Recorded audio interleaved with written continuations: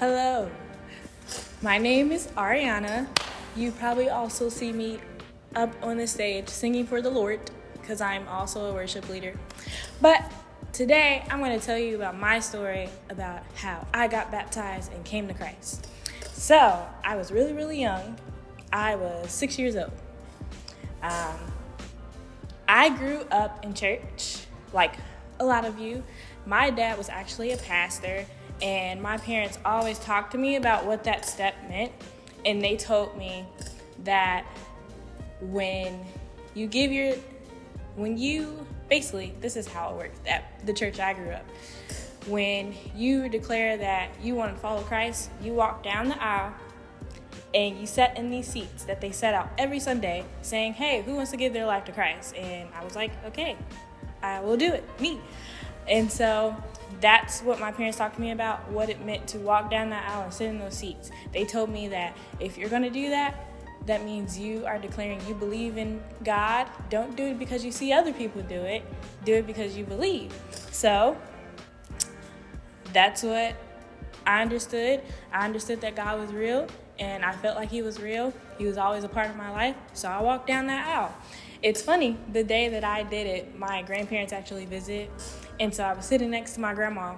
And so when they set out those chairs and it was like, who wants to give their life to Christ? I started walking. My grandma was like, do you know what you're doing? It's like, yes, I know what I'm doing. She was like, you sure?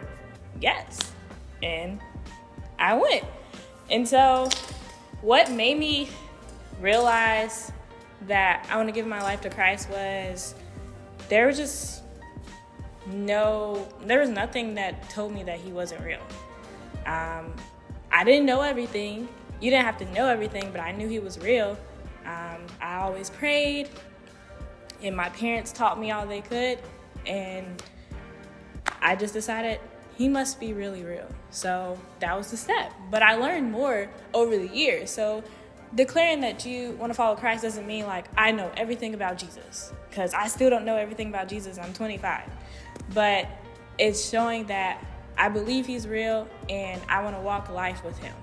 So I encourage you if you believe God is real, even if you don't know everything, but you want to walk with God, then go ahead take that step into baptism. One, it's fun, you get to get in water, but most importantly, you get to know God for yourself and he's to cover you all throughout your life. And he's already covering you now. Hi, guys. My name's Kylie. I am the worship director here at Every Nation Cincinnati. So, probably seen you guys from the stage or in the hallways.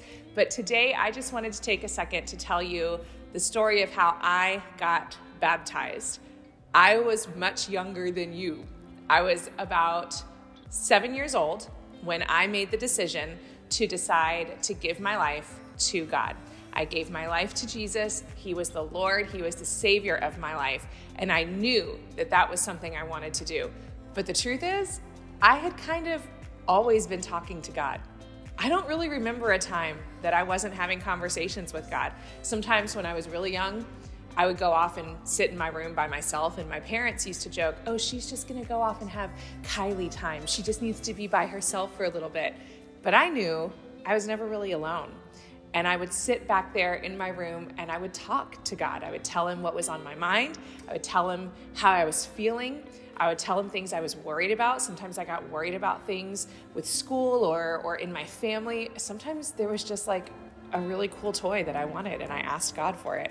Whatever was on my mind, I just talked to him about it. I didn't really know what prayer was. Like I didn't know about, you know, you should pray this way or you should do these things. I learned those things as I grew up in the Lord, and they're all really important. But at that point, I just talked to him because I wanted to talk to him.